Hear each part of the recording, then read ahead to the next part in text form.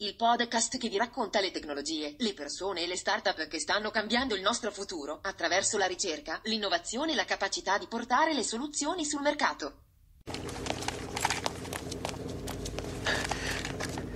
Se i miei calcoli sono esatti, quando questo aggeggio toccherà le 88 miglia orarie, ne vedremo delle belle, Marty.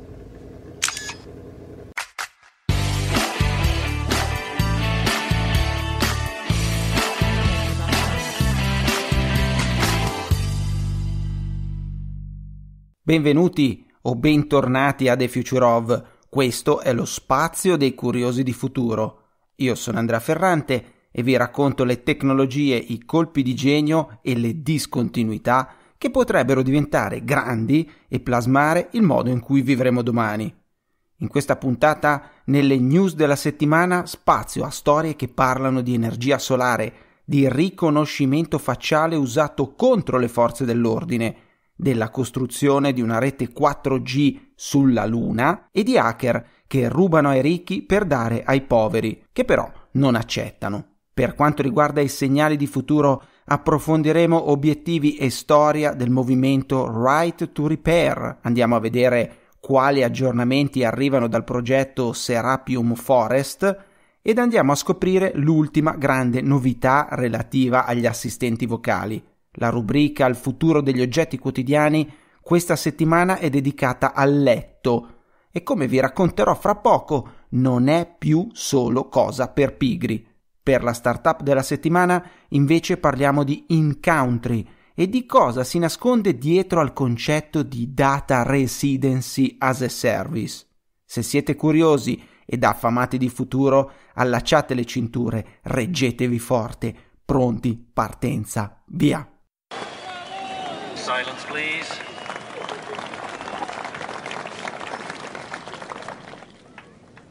News della settimana. In un nuovo rapporto, l'Agenzia internazionale per l'energia, AIE, afferma che il solare è ora la fonte di elettricità più economica da costruire per le utility companies. Racconto questa come prima news della settimana perché mi sembra che questa importante notizia sia stata raccontata con un hype giornalistico esagerato. L'AIE non ha detto che l'energia solare è la fonte energetica più economica, ha solo detto che è la più economica da costruire, ha cioè comparato la capacità produttiva degli impianti attualmente in costruzione con il loro costo e scoperto che è quindi meno costoso produrre energia elettrica da impianti solari che da altre fonti, grazie all'abbassamento del costo dei pannelli e l'aumento della loro efficienza. Che poi questa efficienza economico-produttiva si rifletta in positivo sulle bollette di noi persone e famiglie normali, questo è tutto un altro paio di maniche. La seconda notizia riguarda il dibattutissimo tema del riconoscimento facciale, ma da un'angolatura che non ci saremmo mai aspettati e che ha lasciato le autorità americane piuttosto scioccate. Sappiamo che in diversi stati USA le autorità politiche hanno bannato l'uso del riconoscimento facciale, anche da parte di polizia e forze dell'ordine, in attesa che il panorama legislativo su cosa è corretto fare o non fare con questa tecnologia venga meglio definito. Quello che però le autorità non si aspettavano è lo strano caso di Christopher Howell, un attivista ed esperto di reti neurali, che avrebbe messo in piedi un suo sistema di riconoscimento facciale per riconoscere i poliziotti, con lo scopo di prevenire abusi ed eccessi nell'esercizio del potere. La sua tesi è che sapere chi fa cosa dovrebbe rendere tutti più responsabili. E dal momento che la maggior parte dei ban sul riconoscimento facciale riguarda le organizzazioni, mentre lui è solo un privato, per ora può continuare indisturbato a sviluppare la sua soluzione. Ovviamente le autorità non l'hanno presa benissimo ed immagino che l'argomento avrà ulteriori evoluzioni in futuro, ma forse il messaggio più importante di questa storia è che il riconoscimento facciale sta rapidamente diventando alla portata di molti. Anche la terza notizia della settimana potrebbe farvi saltare letteralmente sulla sedia. Nokia ha ricevuto 14 milioni di euro di fondi dalla NASA per portare il 4G sulla Luna. Sì, sì, avete capito bene, Nokia progetterà una rete di telecomunicazioni sul nostro satellite naturale. La NASA, al momento dell'assegnazione del contratto, ha dichiarato il sistema potrebbe supportare le comunicazioni sulla superficie lunare a distanze maggiori, velocità più elevate e fornire una maggiore affidabilità rispetto agli standard attuali. La rete 4G sarà utilizzata da astronauti e veicoli e come punto d'appoggio per qualsiasi futura base lunare permanente. È stato scelto il 4G e non il 5G perché quest'ultimo si adatta meglio a trasmissioni sulla corta distanza e quindi per una rete sarebbero serviti più dispositivi. Quindi l'utilità mi sembra piuttosto chiara. E se la battuta è che la rete consentirà agli astronauti di farsi un selfie nello spazio e postarlo su Instagram direttamente da lassù, beh, questo potrà accadere, ma ovviamente non è lo scopo principale del progetto. L'ultima notizia arriva dal mondo dell'hacking. Ma questa volta non si tratta dell'ennesima estorsione, ransomware o simili a danno di qualche importante multinazionale.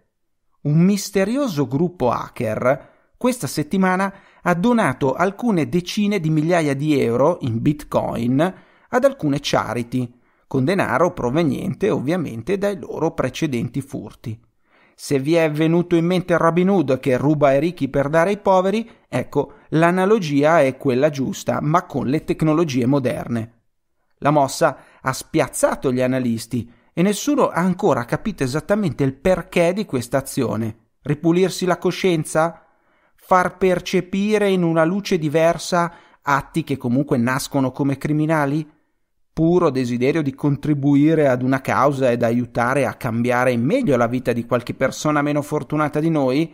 Oppure semplice pubblicità per qualche nuovo gruppo emergente? Le motivazioni possono essere tante. L'unica cosa certa è che la prima charity ad aver beneficiato della donazione ha dichiarato che non terrà il denaro perché frutto di attività illecite. Segnali di futuro. Primo segnale di futuro il movimento Right to Repair. Nel 2013 è nata un'associazione che risponde al nome The Repair Association, TRA, TRA. Il diritto di riparare i prodotti elettronici di proprietà, appunto Right to Repair, si riferisce alla legislazione statale che, ove presente, ha lo scopo di consentire ai consumatori la possibilità di riparare e modificare i propri dispositivi elettronici. Il tutto in un mondo dove normalmente il produttore dei dispositivi richiede al consumatore di utilizzare solo i suoi servizi ufficiali offerti e spesso a caro prezzo, più le eventuali inefficienze del produttore. Ma le ragioni dei produttori, tra i quali spiccano ovviamente anche noti big come Apple e Microsoft per esempio, non si limitano solo alla protezione delle revenue stream, quindi dei ricavi dei servizi di assistenza, preservare il segreto industriale, evitare che utenti inesperti possano compiere danni o addirittura farsi male e chiudere le porte a eventuali hacker che potrebbero inserire nei dispositivi delle vulnerabilità sono le altre motivazioni spesso citate. Tanto che dal punto di vista normativo i produttori sono anche riusciti a far passare una legislazione negli Stati Uniti come il Digital Millennium Copyright Act per impedire ai consumatori di armeggiare con i loro dispositivi. Insomma, non è legale per terzi aprire e smontare uno smartphone o un laptop e non è legale nemmeno per il proprietario che però ha speso dei soldi per comprarlo ed è suo. E se proprio vi venisse la voglia di tentare lo stesso, ci sono aziende come Apple che hanno iniziato a utilizzare viti pentalobate, cioè a cinque punte nei suoi dispositivi, il che ha reso più difficile per i consumatori aprire i prodotti ripararli o cambiare le batterie, a meno di avere l'attrezzo giusto per farlo, che però non esiste sul mercato. Il movimento Right to Repair ha preso forza a partire, ironia della sorte, dal settore agricolo, dove molti agricoltori hanno scoperto di non poter riparare legalmente i propri trattori o le altre attrezzature agricole acquistate da aziende come per esempio la John Deere, senza utilizzare i servizi di riparazione del produttore stesso, ad un costo giudicato elevato.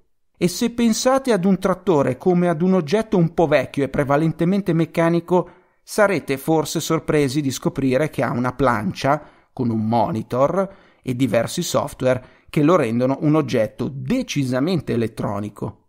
Ecco che allora il movimento ha cominciato a chiedere ai produttori e spingere a livello normativo per leggi che consentono di avere i manuali, di avere una progettazione pensata per poter aprire ed accedere ai dispositivi, oltre alla possibilità di farli riparare da terzi ed infine anche da se stessi.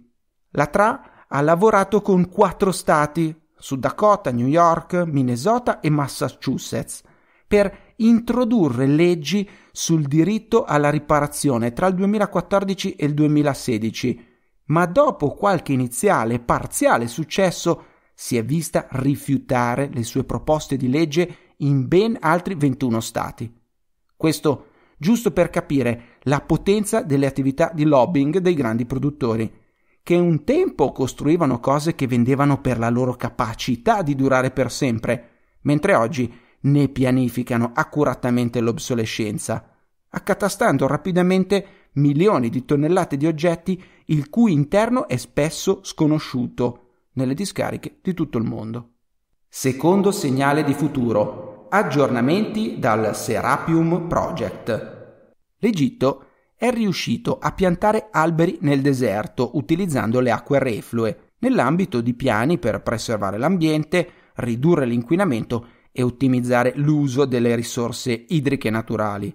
La foresta del Serapium, della quale vi ho parlato in dettaglio in una delle scorse puntate di The Future of, è costituita da 200 ettari di alberi piantati nella città di Ismailia, nel nord-est dell'Egitto.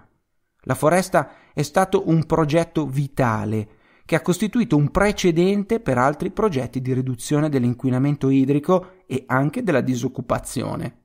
Ci è chiaro che le foreste sempreverdi purificheranno l'aria, combatteranno la desertificazione e contribuiranno anche a ridurre l'alta temperatura estiva. Ma c'è di più.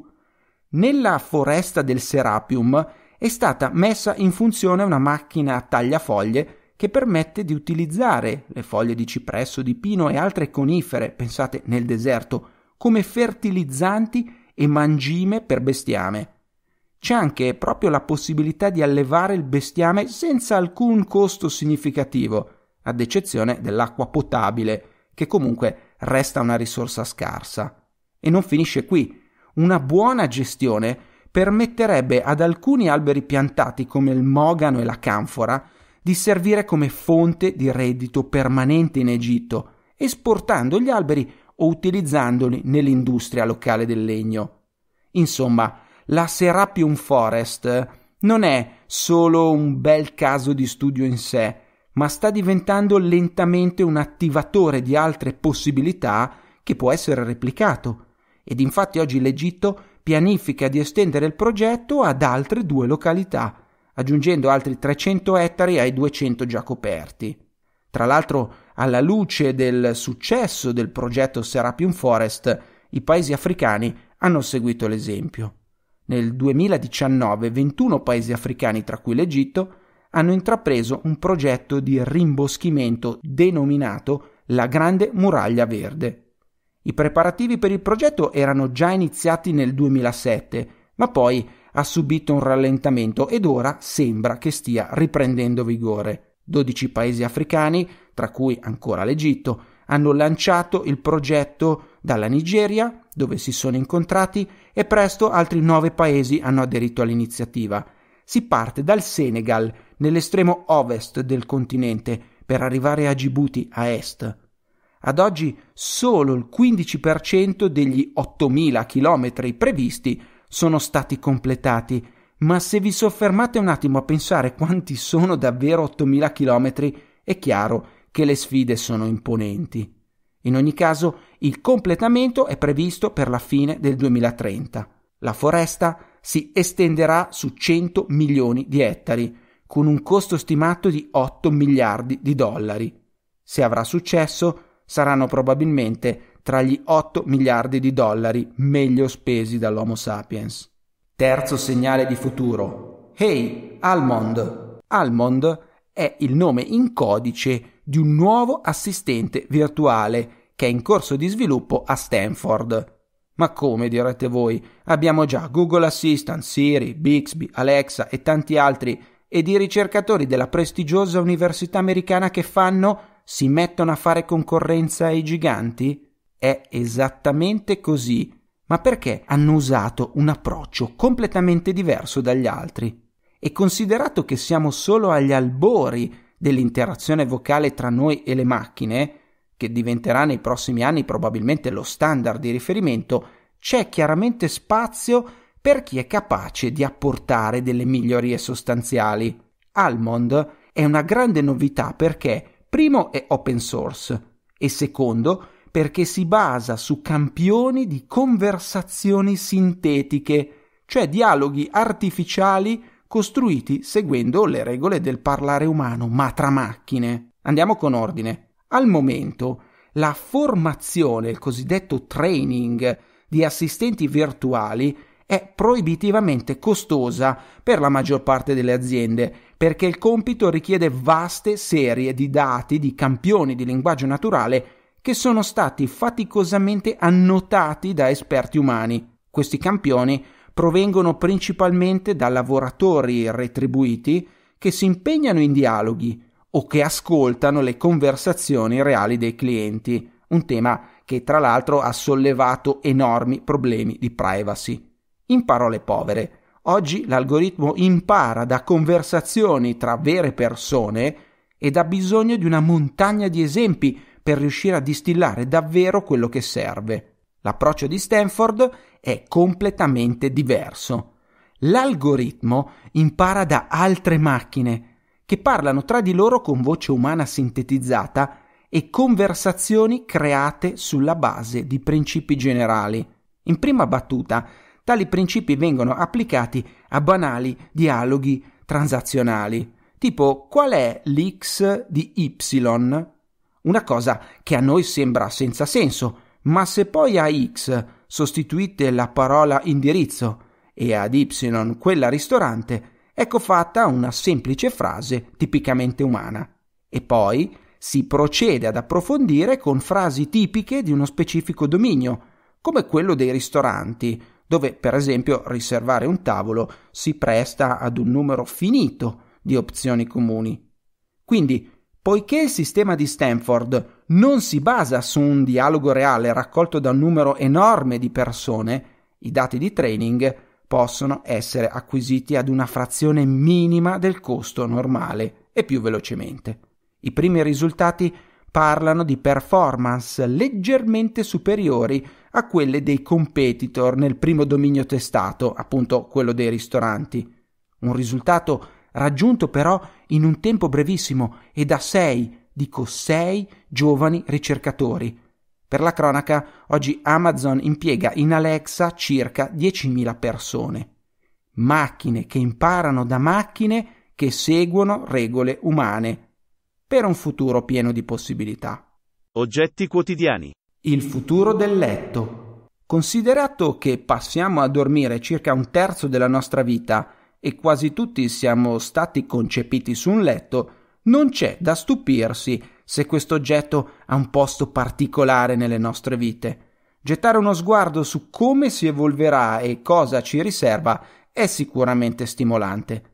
Il futurista Ian Peterson ha immaginato scenari fatti da pigiami intelligenti, indumenti da letto e materassi dotati di sensori per misurare i dati cerebrali, soprattutto le nostre risposte alla pressione, alla luce, alla temperatura, che andranno ad informare letti meccanici, termostati e apparecchi di illuminazione che si regolano al volo per creare e mantenere un'esperienza di sonno ottimale e altamente personalizzata.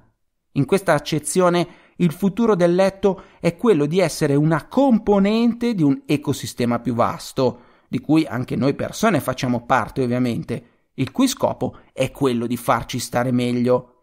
E nel mondo dei 100 miliardi di sensori attesi per il 2036, evidentemente questo scenario sembra decisamente realizzabile. I più visionari e concreti hanno già immaginato una pletora di soluzioni particolarmente affascinanti. La prima è il letto galleggiante, un oggetto utile non tanto per dormirci, ma per essere sollevato fino ad appiattirsi per esempio sul soffitto o nel soffitto per lasciare più spazio sotto. Anche utilizzando soluzioni semplici come l'uso di magneti, avere in camera un letto che galleggia a mezz'aria sarebbe sicuramente un pezzo di design capace di stupire chiunque entri. Una seconda soluzione di sicuro interesse è quella dei materassi autopulenti. Quelli del futuro potrebbero essere in grado di sterilizzarsi da soli, utilizzando una tecnologia simile a quella di un moderno aspirapolvere, il che significa che non si dormirà più sopra la polvere ogni notte. La terza tendenza è proprio quella del materasso capace di monitorare la persona, il suo stato di salute, i suoi parametri vitali, insomma una sorta di Fitbit un po' più grosso ed avvolgente di quello che portate al polso. Pensando invece in ottica ambientale, i letti di cartone potrebbero essere uno spettacolo comune in futuro, magari meno glamour e tecnologico delle vostre aspettative, ma di fatto già esistente. Per realizzare letti che possono sostenere il peso di 20 persone sono già stati utilizzati kit di cartone riciclato, ecologici, facilmente trasportabili, a basso costo, in pacchi piatti. Passando a soluzioni decisamente più tech, i letti del futuro potrebbero essere dotati di schermi, proiettori ed altoparlanti integrati, in grado di coinvolgerci con film, social media o anche una bella rappresentazione accurata del cielo notturno che c'è all'esterno. Se poi volessimo aggiungere nativamente una realtà aumentata, visto che il letto è statico e la stanza attorno è sempre quella, non sarebbe difficile posizionarci all'interno qualsiasi cosa, anche un bel fusto o una pin-up a seconda delle preferenze. Un'altra idea interessante che ho visto in rete è quella dei cuscini che si illuminano progressivamente. Una cosa che può sembrare inizialmente frivola, ma sarebbe utile per guidarci al risveglio simulando l'arrivo della luce naturale dall'esterno, come un'alba o una bella mattina di primavera. Logiche analoghe vengono applicate da quei produttori che vogliono dare al letto la forma di un pod, un luogo praticamente chiuso e riservato dove illuminazione, temperatura, insonorizzazione e comfort sono tutti pensati e combinati per rendere piacevole la permanenza. E con tutti questi schermi intorno qualcuno si spinge a pensare a funzionalità innovative non tanto in sé, ma per un letto Potremmo farci una bella lampada abbronzante a letto? Oppure avere sistemi di radiografia e scansione capaci di cercare eventuali malattie all'interno del nostro corpo? Il tutto ovviamente puramente comandato da istruzioni vocali. Io personalmente apprezzo davvero il tema dell'uso dello spazio, considerata la probabilità di arrivare entro fine secolo ad essere 10 miliardi di persone sul pianeta ed in gran parte concentrati nelle città, lo spazio sappiamo che diventerà sempre più prezioso. Ed allora, se devo immaginare il futuro del letto, io lo penso costruito con nanotecnologie e pochi strati di atomi capaci da una parte di sostenere il peso di una persona e dall'altra di essere poi arrotolati e messi in un angolo liberando così la superficie di un'intera stanza. Insomma, qualsiasi sia il letto che immaginate per voi in futuro, lunga vita a questo meraviglioso oggetto quotidiano. La startup della settimana. In country. Con l'avvento del regolamento generale sulla protezione dei dati, il noto GDPR, nell'Unione Europea, così come a seguito degli scandali legati a casi come quello di Cambridge Analytics, che ha dimostrato che le grandi aziende non proteggono i nostri dati come dovrebbero, la sicurezza dei dati è diventato un argomento urgente da affrontare per molti players. Ed è qui che entra in gioco InCountry. L'azienda di San Francisco sta cambiando il modo in cui archiviamo i dati.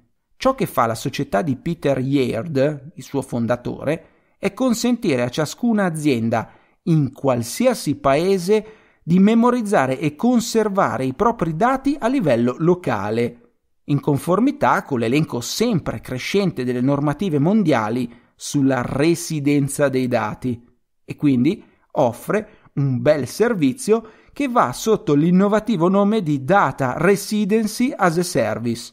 In pratica, in country aumenta i normali archivi dati esistenti aggiungendo un ulteriore archivio di dati per quanto riguarda tutti gli aspetti regolamentari e lo sta facendo già in oltre 100 paesi.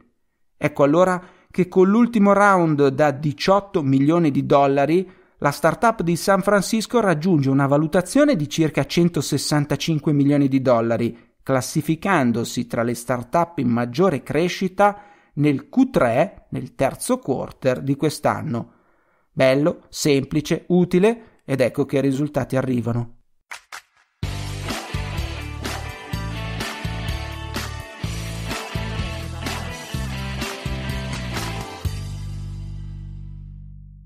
La puntata di The Future of è quasi finita, ma non andate via ancora un istante.